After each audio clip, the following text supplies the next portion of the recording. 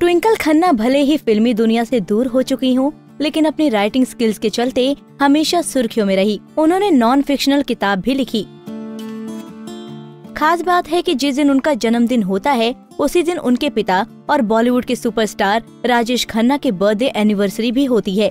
Twinkle की अपने पापा राजेश के साथ खास बॉन्डिंग थी। कुछ समय पहले उन्होंने एक इंटरव्यू में अपने और पिता से जुड़ा एक किस्सा शेयर किया था, जिसके बाद उन्हें अपने पापा की पॉपुलैरिटी का एहसास हुआ था। जी हाँ राजेश खन्ना बॉलीवुड के एक मशहूर स्टार थे, लेकिन ट्विंकल बचपन से इस बात से बिल्कुल अनजान थी। उन्हें पहली बार अपने पिता की पॉपुलैरिटी का पता तब चला था, जब उनके घर पर गिफ्ट्स के तौर पर कई किताबें व अन्य चीज़ें आया करती थी।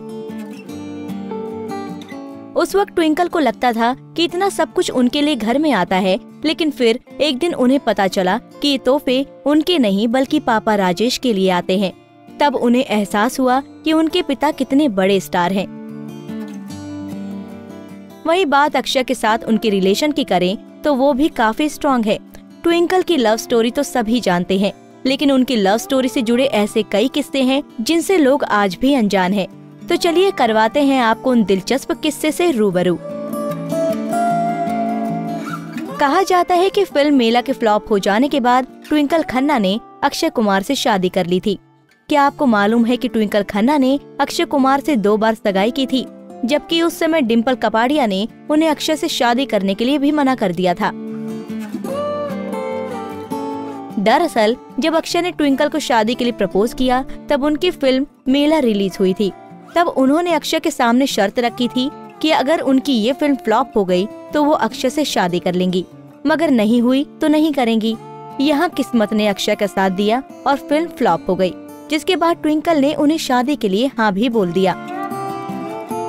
मगर जब दोनों मियाँ बीवी शादी के लिए तैयार हुए, वही ट्विंकल की माँ डिम्पल बीच में रुकावट बनकर खड़ी हो गई। दरअसल, उसी वक्त डिम्पल को एक पत्रकार दोस्त से पता चला कि अक्षय गे यानी समलैंगिक है। जिसके बाद उन्होंने शादी के लिए एक शर्त रखी कि अक्षय और उनकी बेटी को शादी से पहले एक साल तक लिव इन रिलेशन में रहना होगा। उसके बाद वो अपना फैसला सुनाएँगी। फाइनली साल भर के बाद दोनों की शादी हो गई।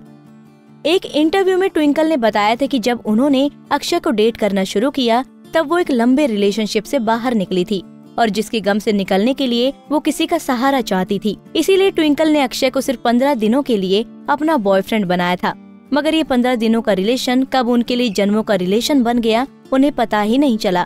मगर कहते हैं ना कि किसी सक्सेस लव स्टोरी के बीच एक शख्स ऐसा भी होता है, जिसकी वजह कभी न कभी रिश्ते में दरार आने लगती है। ऐसा ही एक वाक्य अक्षय के साथ भी हुआ। दरअसल शादी से पहले तो अक्षय के कई अफेयर्स रहे, लेकिन अपनी इसी आदत से वो शादी के बाद भी बाज नहीं आए और प्रियंका चोपड़ा के प्यार में पड़ गए। खबरों की माने तो प्रियंका और अक्षय का अफेयर फ़िल्म के सेट से शुरू हुआ। जब प्रियंका ने अक्षय में दिलचस्पी दिखानी शुरू की तो एक्टर ने ये मौका अपने हाथ से जाने नहीं दिया। ऑन स्क्रीन के साथ साथ ऑफ़ स्क्रीन भी दोनों का रोमांस जारी रहा। धीरे धीरे दोनों के अफेयर की खबरें मीडिया में आने लगी और अक्षय की पत्नी ट्विंकल खन्ना तक ये बात पहुँचने में देर नहीं लगी। जब ट्विंकल को इस बात की भनक लगी तो वो गुस्से में अक्षय के पास ही पहुँच गई और शूटिंग के सेट पर पूरी टीम के सामने ही उन्होंने अक्षय को थप्पड़ जड़ दिया। इसके बाद अक्षय ने ऐलान कर दिया कि वो भविष्य में प्रियंका चोपड़ा के साथ कोई फ़िल्म नहीं करेंगे। उसके बाद से ही दोनों अपनी मैरिड लाइफ को खुशी खुशी एंजॉय कर रहे हैं और स्ट्रॉन्ग बॉन्डिंग भी सेट करते हैं। आपको ट्विंकल अक्षय की लव स्टोरी के बारे में क्या कहना है? हमें कमेंट बॉक्स में बताना ना भूलें।